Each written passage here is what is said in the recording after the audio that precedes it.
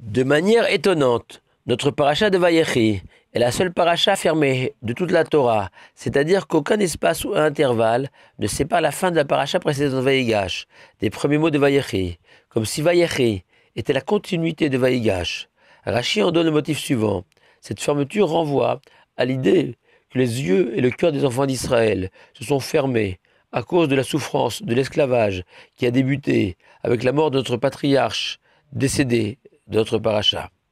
Rabbi Shimshon Raphaël Hirsch propose une autre explication. On aurait pu penser que les 17 années de vie paisible de Yaakov en Égypte mériteraient d'être comptées dans une paracha distincte des autres. Nous, au contraire, la Torah les associe aux années précédentes de Yaakov, pleines de tourments, suite à la disparition de Yosef.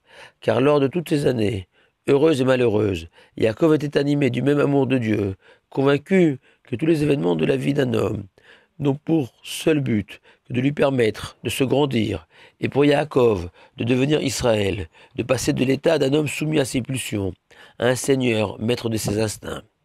Le Midrash fournit, lui, la raison suivante. Yaakov voulait révéler à ses enfants la date de la fin des temps, mais il en a été empêché. Les canaux de la prophétie se sont fermés, à l'image de notre paracha, qui elle aussi est fermée. L'intention de Yaakov était claire rassurer les descendants que nous sommes. Qu'il existe un terme défini. À toutes les turbulences et souvent les souffrances de plusieurs milliers d'années d'exil physique et moral du peuple juif. Pourquoi l'Éternel lui a refusé cette révélation? Et le Hanmour Azaken cite le Talmud, le Talmud, qui enseigne que trois choses surviennent de manière inattendue. Trouver un objet perdu, la morsure d'un scorpion et la venue du Mashiach le Messie. C'est-à-dire que de la même façon que trouver un objet perdu dans la rue est imprévisible, ainsi on ne peut pas prévoir la venue du Mashiach. Pourtant, l'attente du Mashiach, l'avènement d'une société fondée sur le bien et la sagesse, loin des valeurs, des valeurs futiles du monde actuel, est l'un des 13 articles de foi de Maïmonide. La réponse est la suivante.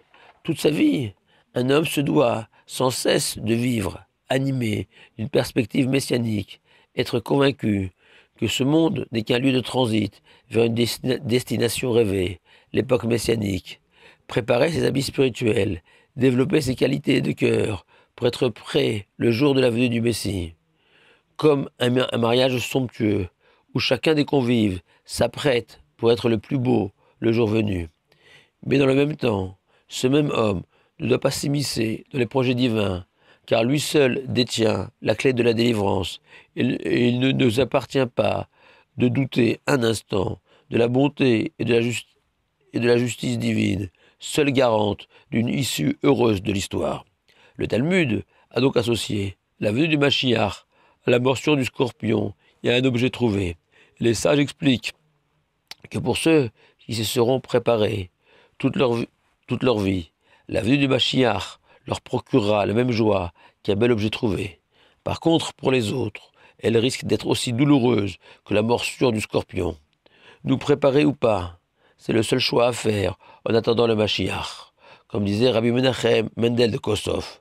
Pourquoi Mashiach n'est pas venu ni hier ni aujourd'hui? Parce qu'aujourd'hui, nous sommes exactement comme hier. Shabbat shalom à vous tous.